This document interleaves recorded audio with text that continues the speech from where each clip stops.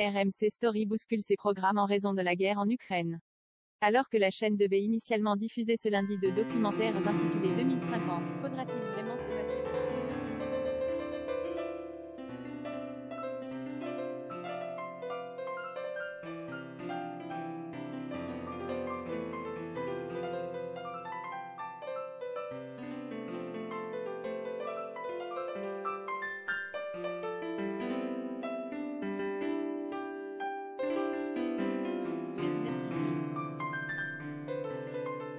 0 commentaire, 1 partage, partagez sur Messenger, partagez sur Facebook, partagez sur Twitter, partagez sur Flipboard, partagez sur Pinterest, partagez sur LinkedIn, envoyez par mail, sauvegardez une faute.